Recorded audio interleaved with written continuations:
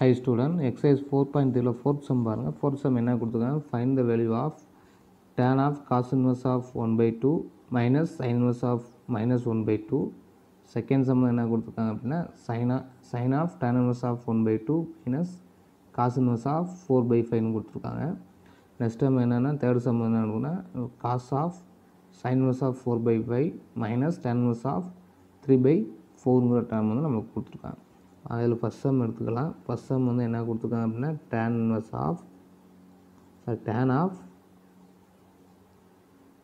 cos inverse of one by டூன்னு கொடுத்துருக்காங்க. அதே மாதிரி வந்து minus sine inverse of minus one by டூங்கிற value வந்து நமக்கு கொடுத்துருக்காங்க. அப்போ நம்ம என்ன செய்யலாம் அப்படின்னா இது வந்து வேல்யூ வந்து ஈஸியாக கிடைக்கும். ஒன் பை டூங்கிற வேல்யூ வந்து கிடைக்கும். ஸோ வந்து காசு இன்வெஸ்ட் வந்து என்ன எடுக்க போகிறேன் அப்படின்னா cos inverse one by two equal to டீட்டான்னு கூட எடுத்துக்கலாம். அப்போ இந்த காசு இந்த சைடு வந்துச்சு அப்படின்னா என்ன மாறப்போனா cos theta equal to one by டூன்னு கிடைக்கும். அப்போ cos theta one by two எதில் கிடைக்கும் அப்படின்னா பை பை இதெல்லாம் பை பை த்ரீயில் வந்து கிடைக்கும். அதே மாதிரி sine inverse of sine inverse of minus pi by சரி ஓ minus one by two equal to டீட்டான்னு எடுத்துக்கிறேன். அப்போ இந்த சைன் வர்ஸ் ரைட் சைடு வரப்போ என்ன மாறும் அப்படின்னா சைனாக மாறிடும். அப்போது minus one by two equal to sine டீட்டான்னு கிடைக்கும் அப்போ டீட்டாவோட வேல்யூ ஃபைன் பண்ணால் என்ன கிடச்சிருக்குன்னா மைனஸ் பை பை சிக்ஸுன்னு நம்மளுக்கு கிடைக்கும். அப்போ இது ரெண்டையும் எடுத்து இதில் அப்ளை பண்ண போகிறேன் அப்படின்னா இதில் அப்ளை பண்ணிட்டோம் அப்படின்னா நம்மளுக்கு ஆன்சர் ஈஸியாக கிடைக்கும். அப்போ டேன் டேன் ஆஃப் என்ன டேம் காசு அப்படின்னா காஸ் ஒன் பை டூக்கு வந்து காசு இன்வெர்ஸ் அப்போ ஒன் பை டூக்கு வந்து பை பை த்ரீன்னு ஃபைன் பண்ணோம்.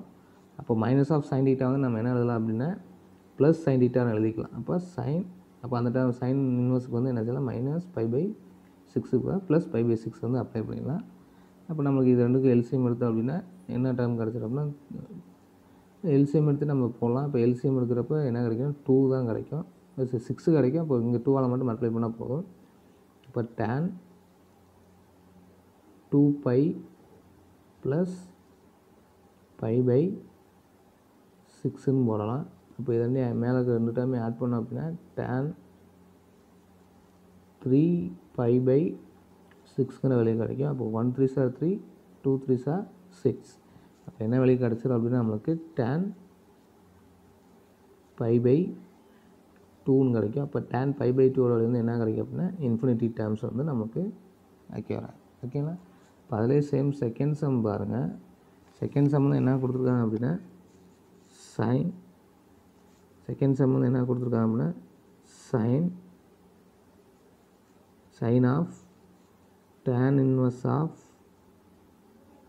1 by 2 minus cos inverse of four by ஃபைவ்ங்கிற term வந்து கொடுத்துருக்கான் அப்போ இந்த ஃபோர் பை ஃபைவ்லாம் நமக்கு வேலையை வந்து ஃபைன் பண்ண முடியாது. ஸோ வந்து நம்ம என்னென்னா ரெண்டு டேர்ம் எடுக்க போகிறோம் இப்போ சைன் இது வந்து எக்ஸ் டேர்மும் இது ஒய் டேர்ம் எடுத்துக்க போகிறேன் எடுத்துகிட்டு இப்போ வேல்யூ வந்து ஃபைன் பண்ண போகிறோம் அப்போ எக்ஸுங்கிற டேர்ம் என்ன எடுத்துருக்கேன் அப்படின்னா x equal to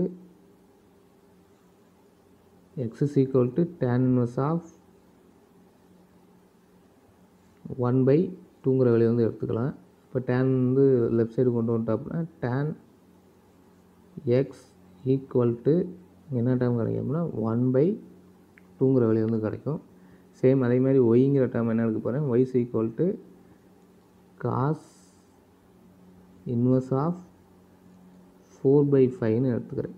இல்லை அப்போ இந்த காஸ் இன்வெர்ஸ் வந்து லெஃப்ட் சைடு வந்துச்சுன்னா காஸ் ஒய் ஈக்குவல் டு நமக்கு என்னென்னா ஃபோர் பை ஃபைவ்ங்கிற டேர்ம் வந்து நம்மளுக்கு கிடச்சிது அப்போ ரெண்டு டேர்ம் வந்து ஃபைவ் பண்ணியிருக்கோம். Tan x equal to one by two cos y's equal to four by ஃபைவ்ங்கிற வேலையை வந்து ஃபைன் பண்ணி வச்சுருக்கோம். அப்போ நம்மளுக்கு வந்து நம்ம என்ன எடுத்தோம் அப்படின்னா எக்ஸ் அண்ட் ஒய்னு எடுத்துருக்கோம். இந்த ஹோல் ஈக்குவேஷன் எப்படி மாறும் அப்படின்னா சைன் எக்ஸ் மைனஸ் ஒய்ங்கிற டேர்மாக நம்மளுக்கு கிடைக்கும். அப்போ சைன் எக்ஸ் மைனஸ் ஒய்க்கு ஃபார்முலா வந்து என்ன இருக்குது அப்படின்னா sine x sine x cos y minus cos x sine wine மார் ஏன்னா அது வந்து cos A plus sine A minus B ஃபார்ம்லாம் அப்போ sine A minus B form வந்து sine A cos B minus cos A sine பிங்கிற ஃபார்மில் வந்து கிடச்சிரும். அப்போ நம்ம இதுலேருந்து என்ன செய்யணும் அப்படின்னா கன்வீனியன் டேர்ம் ஃபுல்லாக ஃபைன் பண்ண போகிறோம் அப்போ இதுலேருந்து என்னென்ன ஃபைன் பண்ணால் சைன் எக்ஸ் ஃபைன் பண்ணணும். அதேமாதிரி காஸ் எக்ஸ் வந்து ஃபைன் பண்ணணும். சேம் இதை வச்சுட்டு என்ன செய்யணும் அப்படின்னா இதை வச்சுட்டு சைன் எக்ஸும் காஸ் எக்ஸும் ஃபைன் பண்ணலாம் இதை வச்சுட்டு என்ன செய்ய போகிறோம் அப்படின்னா காஸ் ஒயும் சைன் ஒயும் ஃபைன் பண்ண போகிறோம் நாங்கள் அதை எப்படி ஃபைன் பண்ணலான்னு பார்க்கலாம். அப்போ ஒரு ரைட் ஆங்கிள் டேன் எக்ஸ் எடுத்துக்கிறேன். Tan x equal to one by two இந்த கண்டிஷன் எடுத்துகிட்டு ஒரு ரைட் ஆங்கிள் ட்ரையாங்கிள் ஃபார்ம் பண்ணுறேன் ஓகேங்களா இப்போ இந்த ரைட் ஆங்கிள் ட்ரையாங்கிள் ஃபார்ம்னா இது ஏ பி சி அப்போ டேன்கிற வந்து நம்மளுக்கு என்ன தெரியும்? Opposite side by opposite side by adjacent சைடுன்னு தெரியும். அப்போ opposite side by adjacent side போட்டோம் அப்படின்னா ஆப்போசிட் சைடு இது வந்து அட்ஜசன்ட் சைடு நம்மளுக்கு என்னென்னா? ஹைப்பரோனியஸ் வந்து ஃபைன் பண்ணணும். நார்மலாக பிதா பிதாகஸ் தேர்ம் அப்ளை பண்ணோம் அப்படின்னா AC square equal to AB square plus BC ஸ்கொயர்னு போடலாம்.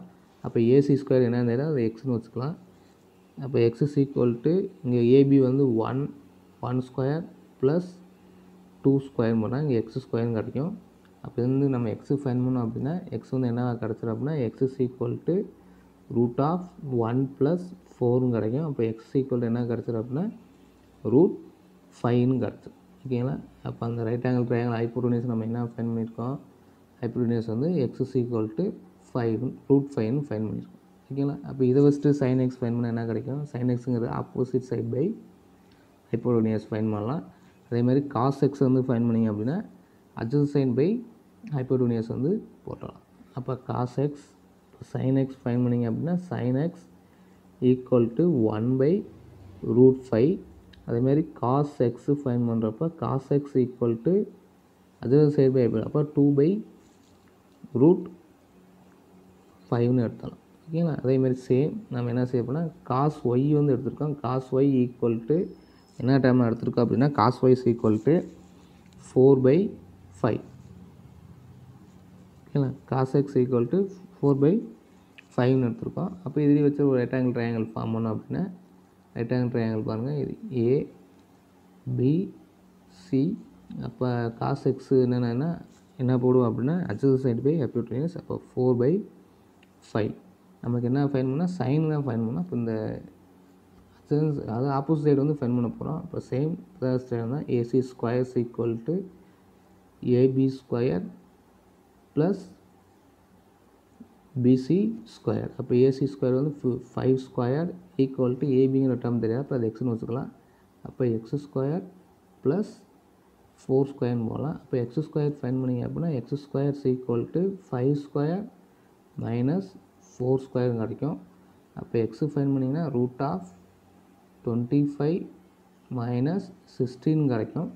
அப்போ எக்ஸ் இஸ் ஈக்குவல் டு என்ன டேர்ம் கிடச்சிடும் அப்படின்னா ரூட் நைன் கிடைக்கும் அப்போ எக்ஸ் இஸ் ஈக்குவல் டு என்ன கிடச்சுன்னா த்ரீன்னு கிடச்சி ஓகேங்களா அப்போ இந்த டேர்ம் வந்து என்ன ஆகுது அப்படின்னா நமக்கு த்ரீங்கிற டேர்ம் வந்து ஃபைன் பண்ணியாச்சு. அப்போ இதில் சைன் ஒய் ஃபைன் பண்ணிங்க அப்படின்னா என்ன டேர்ம் கிடைக்கும் பாருங்கள் அப்போ sine y sine y equal to என்ன டேர்ம்னா த்ரீ பை ஃபைவ்ங்கிற டேர்ம் வந்து நமக்கு கிடச்சோம் அடுத்து நெக்ஸ்ட் என்ன செய்ய போகிறோம் அப்படின்னா அது அப்படியே ஃபார்முலாவில் எடுத்து அப்ளை பண்ண போகிறோம் இப்போ ஃபார்முலா வந்து நம்ம எழுதியிருக்கோம். இப்போ sine x minus y equal to என்ன டேம் ஆகிடுது ஒன் பை அதாவது sine A one by root five into cos B என்னன்னா four by root five minus இங்கே டூ பை ரூட் ஃபைவ் வந்து த்ரீ பை ஃபைவ்னுங்கிற வந்து கிடைக்கும். இது மல்டிப்ளை பண்ணிங்க அப்படின்னா ஃபோர் பை ஃபோர் பை என்ன டேர்ம் கிடைக்கும் அப்படின்னா சரி இது ஃபோர் பை இது ரூட் ஃபைவ்ல நார்மல் ஃபைவ் அப்போ ஃபோர் பை ஃபைவ் ரூட் ஃபைவ்ங்கிற வேல்யூ வந்து கிடைக்கும். சேம் இங்கேயும் அதே டைம் தான் கிடைக்கும். இங்கே வந்து two sorry six by five root ஃபைவ்னு கிடைக்கும். அப்போ ரெண்டையும் வந்து நம்ம மைனஸ் பண்ணோம் அப்படின்னா டேம் வந்து எப்படி கிடச்சிரும் அப்படின்னா minus two by five root ஃபைவ்னு கிடைக்கும்.